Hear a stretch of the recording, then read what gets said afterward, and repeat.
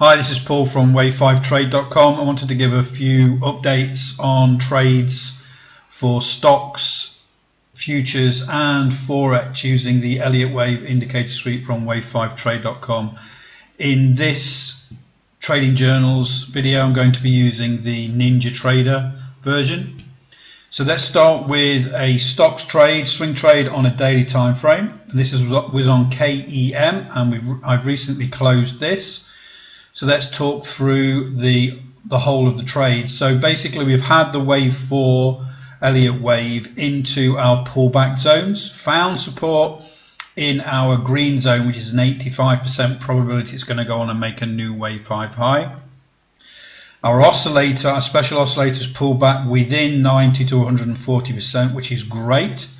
Uh, and then we got the target up here, which is already hit. So after the wave 4 found support started to move away, uh, we needed an entry above the 6-4 moving average high, which is this blue. It's the conservative entry strategy as part of this uh, Elliott wave indicator suite. Uh, so we didn't get in quite straight away, but we managed to get in just around $21. And then this is the daily time frame. So as you can see, within uh, nine or 10 days, we'd hit the target zone and taken profit. So great trade on KEM this month using the Elliott Wave indicator suite. And again, this is exactly the same whether it's TradeStation, Thinkorswim, or the NinjaTrader version, which I'm using right now.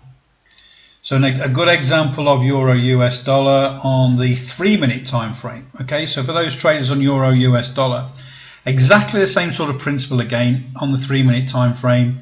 Uh, wave three happens, wave four pulls back into the green zone, finds support, starts to move away.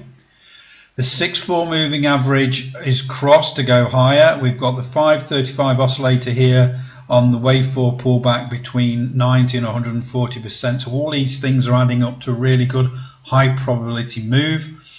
We then look for an entry. Uh, entry here was above this uh, doji and way outside the 6-4 moving average high. And the target zone was pushed straight through. So great profit on this short trade on the three minute time frame for euro US dollar. Again, it's using the same strategy, the same pullback zones and uh, the oscillator pullback, combining them all together, just showing the versatility, whether it's a daily time frame on stocks or a three minute time frame on Forex. And lastly, on ES, on the 15 minute time frame, exactly the same thing again. So we've got at the bottom, we've got the 535 oscillator, the wave 4 pulls back, you see the crown of the pullback on the oscillator within the 90 to 140% zone. Really good setup here. Wave 4 fine, support in the green zone, 85% probability it's going to go on and make a new high.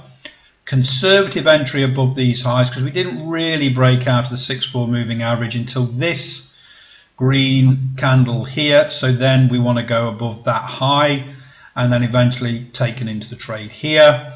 And again, as you can see on the close on Friday, uh, the 20th of October, we hit the target zone and closed out the trade. So there's three good examples in this trading journal of futures, forex, and stocks on different time frames, showing you just to use the same strategy, the same sort of setups, uh, and the versatility of this Elliott Wave indicator suite.